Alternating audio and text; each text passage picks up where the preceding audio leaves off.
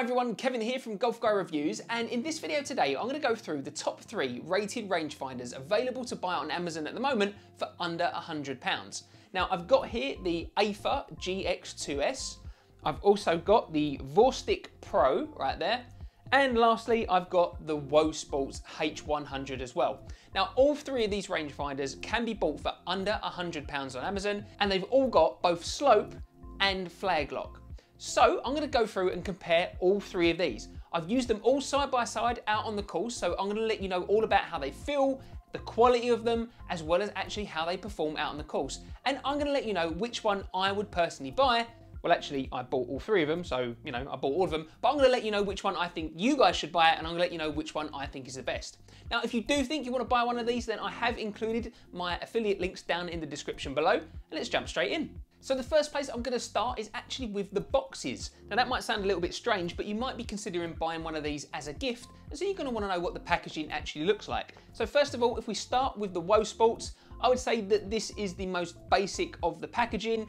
You know, it doesn't necessarily look too premium, and there's nothing particularly amazing going on on the inside there, so that's the Wosports. Then moving on, we've got the Vorstick. So I'd say this looks a little bit better, a little bit more professional. Again, nice and easy to open. Um, again, nothing in particular or amazing going on on the inside there. Um, but yeah, that's what the box of the Vorstick looks like. But then lastly, you've got the Aofar. So with the Aofar, I think this is the most professional looking of the three boxes. Um, and I think it looks nice and clean and tidy. You've got a nice little logo on the top. You've got a bit more kind of information on the side of it. You've actually got a picture of the uh, unit itself and just generally, you know, I think it looks a little bit more high quality. And when it opens up, then you would just kind of see the unit sitting on the inside there. So of the three, definitely I'd say the Aofar has got the best packaging. Now, if you are looking for more in-depth reviews of all three of these rangefinders, then I've actually done separate individual reviews. So we're not gonna go too deep today in this video. I'm just gonna do light for light comparisons while we've got them side by side. So let's actually talk about the look and the feel of them. So let's have a look at the Wosport first of all. Now I've got to say that this one is probably the cheapest feeling one of the three. Um, it's not that particularly good to look at. It's quite kind of boxy in its design um, and that doesn't necessarily mean that that affects the performance of the unit, but just generally in, time, in terms of the looks, you know, it, it doesn't really fit in your palm particularly well. It's kind of boxy, it hasn't kind of got the ergonomics of some of the other designs. On a positive note, I'd say that actually of the three, these have definitely got kind of the biggest, chunkiest buttons on them. Um, but although it doesn't necessarily mean that actually the buttons are difficult to use on the easiest ones, but these have definitely got the biggest buttons and they feel quite good there. They've got a little bit of a click to them when you use them. Um, and in terms of where the battery sits, so on this unit here, it's actually kind of this pull down bit in the, uh, in the rear. It's actually pretty cheap and flimsy feeling and there's no rubber seals along the inside um, so I wouldn't necessarily want to use this in too heavy a rain to be honest. It's going to do a job it's going to hold out but you know there is a chance that some water could get in there and it just runs off of a standard CR2 battery which comes in the box. If we then take a look at the Vorstick uh, so although it's called the Vorstick it's also got these kind of stickers on them called D-tape um, and that's on the box as well. So I'm not sure whether this is called the Vorstick or the D-tape, not quite sure what's going on there. But I would say that this definitely feels a little bit more like a rangefinder. It's got a little bit more kind of shape to it. Um, you've got this kind of textured rubber grip element on the bottom there. You can see uh, it just kind of generally feels a little bit nicer to hold. You've got this kind of slight cutout in the top. Um, and again, the buttons are quite nice and big and chunky and kind of, you know, again, got quite a nice feel to them. So in terms of actually how it feels in the hand, personally I prefer this one over the Vorstick. Um, what kind of gets on my nerves a little bit are these cheap stickers. Uh, so you can kind of see that they just kind of catch your hand on the side and it's already starting to peel off.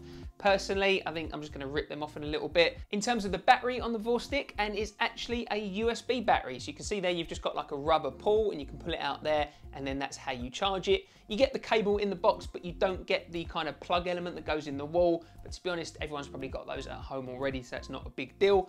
This one definitely feels like it's got the most weight to it of the three. Um, and in terms of the battery, it means that you haven't got to replace it. Uh, you still get the little battery kind of icon at the top, so you can tell when it's running low. Uh, but it does mean that you will have to remember to charge the battery. So moving on to the Aofar GX2S, and this is certainly the biggest of the three. Uh, you know, it's not it's not outrageously big, but it certainly feels the biggest in your hand. But it also does kind of feel the most premium. it still has a lot of plastic on it. So when I say most premium, I mean most premium when you're thinking of the fact that these cost about £100. But it definitely feels the most premium because you've got a lot of kind of rubber texture on the top there for your grip. You've also got a lot more rubber on the bottom and it's a lot more sculpted as well. You can see that cut out on the bottom there. Just means that it fits in your hand a lot nicer. It's a lot more substantial. What I would say is that the buttons are the smallest of the three. Um, again, they've got a nice click to them, so they still work nice and easy. But what I would say is that I do really like the kind of look and design of this one here. You've got a little bit of kind of red on the front. You've got these sharp kind of angles. You've got these lines going across the side uh, on both sides there. So I think personally, this one looks the best. In terms of the battery as well, you've actually got a little screw compartment. So you can see here on the side that you actually unscrew it and that's how you get to the battery. Again, there are no kind of rubber seals on that. So again, I wouldn't say that this is necessarily gonna hold up if you've got this really, really wet, but I would say actually that it does secure the battery probably the best compared to the Wosports. Now, something else you're gonna wanna know about when using these out on the course are the cases. So starting off with the Vorstick and what you get is this kind of old school material type case. Uh, it's got a magnetic fastening on the front there. It's not overly secure, but it does the job.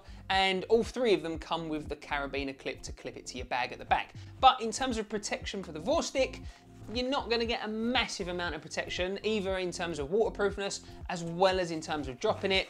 Uh, you're going to get some, but certainly not the most because it's an old style soft case. Moving on, then the other two have got very, very similar cases in terms of the design. You can see here that you've got the D-tape Vorstick, here is the grey one, and then you've got the Aofar, which is this black one here with the orange. They look really, really similar. They both work in the same way. So if I show you on the Vorstick, uh, first of all, you've got a zip that goes right the way around the side. Looks pretty much just like most of the rangefinder cases that you get out on the market just got it caught there. There we go, so it zips up nice and easy. And then what you've also got for when you're using it out on the course is just the elasticated pull tab on the back. So that just hooks over the front. So it's a lot easier to actually use out on the course instead of unzipping it and zipping it every time. You just do the pull tab and you take it out. In terms of how they look, personally, I think the Aofar actually looks better as a case. It would look better on the side of my bag. But, you know, it's not the end of the world that this one's silver and this one's black. Neither of these cases are waterproof, but definitely they look a little bit more professional. They look a little bit more expensive as well, sitting on the side of your bag. So we've gone through how they look and feel, as well as the cases that they come with, but now let's talk about actually how they perform out on the course and some of the functionality which comes with each. Now, first of all, I said at the beginning, there are some similarities with them all. So they've all got a flag lock mode and they've all also got a slope mode. However, there is something a little bit different even there. So first of all, with the Wosports and the Aofar, you can turn off the slope mode. So that means that these are tournament legal because you're not allowed to use slope when you're playing in an official tournament. However, with the Vorstick, I can't find a way of turning off the slope mode. I've looked all through the manual, there's not actually that much detail in there, and I've played about with it for ages. I can't turn off the slope. All three of these units have got six times magnification and that's pretty standard amongst rangefinders pretty much right the way throughout the industry. And they all do say that they can work up to 650 yards, but again, personally, when you're out on the course, you don't really need to measure that far whatsoever. So, you know, it's great that you can do that, but you know, you don't really need it. One thing that's really interesting is on the Amazon account for the Wosports, it was actually saying on the listing that the flag lock only works up to 180 yards. However, with all three of the units, I was testing them on a par four and I was getting a flag lock on for over 230, 240 yards. So actually they were definitely locking onto the flags a lot further than just 180 yards. What I would say is actually of the three, the Wosports was locking on the quickest and the fastest the further out we were. What I would also say, however, is that in any range kind of under 180 yards, I think the Aofar is actually the best. And the reason being is because actually it's got the clearest display. In terms of the crosshairs on the screen, these are nice and big on the Aofar and actually it was just locking on really, really quick and easy. Another thing that I really like about the Aofar compared to the other three is actually in terms of the way that you use the modes, there's no cycling through. Uh, so all you've got is just kind of like the one screen. And if you tap the power button, then you just get the quick, sharp reading just straight off. It's not a flag lock mode, it just pings whatever it hits and it gives you that yardage. If you then hold the laser button, then actually you get flag lock mode and you just hover over the flag and it confirms and it gives you a jolt. So actually, I think this was the easiest of the three in terms of actual usage. When you compare it to the other two, yes, you've got a flag lock mode, but you have to cycle to get through it with a mode button. And also, it means then that if you miss the flag lock mode, then you've got to cycle back through the other four modes. And both of them give you a speed measuring mode, which you just don't need out on a golf course. There's no point in it being there whatsoever. So in terms of ease of use, I've got to say that the Aofar is the easiest for me. Now I mentioned just a moment ago that the Aofar gives you a jolt when it's on flag lock mode. And yeah, I would say that of the three, this has definitely got the kind of firmest jolt uh, when you get that flag lock, which is just a really nice kind of haptic trigger to let you know, yes, I've locked onto the flag and this is the distance to the flag. In terms of jolt, the Wosport does also have a jolt mode on it. Um, not quite as strong, I'd say, as the Aofar, but again, it's certainly there and does the job really well. However, with the USB chargeable Vorstick, this one doesn't have a jolt. Now, the flag lock mode still works nice and well, kind of under 200 yards. I was even getting it working, as I say, kind of around that 230, 240 yardage. However, for me personally, I just prefer having a rangefinder that has that jolt functionality on it. When you use the flag lock, it kind of gives you a little flag in the corner and lets you know that it's locked on but there's just something a little bit more kind of comforting, a little bit more assuring when you get that jolt to go, okay, yes, this is definitely locked onto the flag now, and that's the distance that I want to use. A few other small things that are the same across all three of the units, and first of all, one of them is that the fact that you can change the focus of the unit quite easily by just moving the eyepiece there. So on the Wosports, you actually move the whole eyepiece. On the Vorstick, you do the same thing as well, although that definitely feels a lot looser compared to the Vorstick.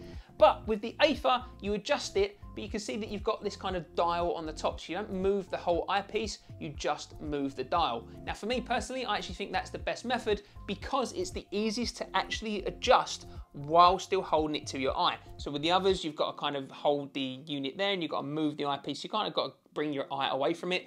With the Aofar, you actually keep it nice and close to your eye and adjust it there like that. The other thing that's the same with all three is that you can change them from yards to meters really, really easy and simply, so you don't have to worry whether you're using them over in the States or here in the UK. One other thing that I did want to tell you about with all three of the units is actually the consistency of the yardages that I was getting back. When I was using them out on the course, all three were actually working really quite well and I was impressed with the yardages that I was getting and they were matching up with other rangefinders that I was using. What I would say is that generally there is a little bit of kind of leeway between the three of them. The further out you are, then definitely the more kind of variation you might get when you're looking for a flag. So definitely you're gonna to want to scan it a couple of times to make sure you're happy with the yardages that it's giving back to you. What I would say is, is that when you're kind of under 100 yards, then you can probably expect kind of maybe a yard or two difference. When you're over 100 yards, you're probably going to actually expect maybe two or three yards difference when you're kind of scanning and standing in the same spot. But again, I'm an 18 handicap. I'm not able to kind of control my distances within the tolerance of a couple of yards. And also, these are all under a hundred pounds. So you can go out there and you can buy a unit for four or 500 pounds and it's gonna give you much greater kind of accuracy out on the course but do you really need it? So again, this is why maybe you're watching this video because you're thinking about buying one of these cheaper rangefinders. And so what I can say is through all the times that I've used these out on the course, they definitely perform and do the job, just maybe not quite to the extreme accuracy that some of the more professional units can. So which of the three would I personally recommend? Well, for me, it's definitely the Aofar. I would say out of the three, it definitely feels the best in hand.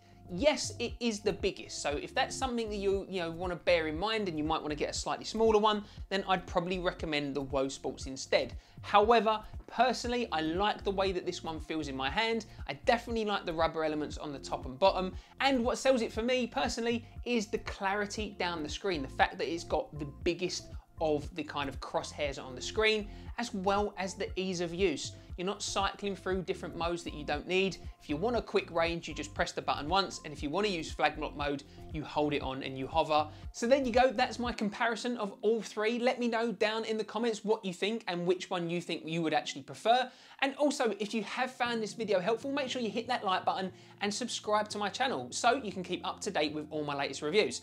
If you are thinking about buying a rangefinder, then I've included a link here to another review I've done of the Mileseey rangefinder. You can buy that again on Amazon for around £120, so you can see the difference there of that rangefinder compared to these three.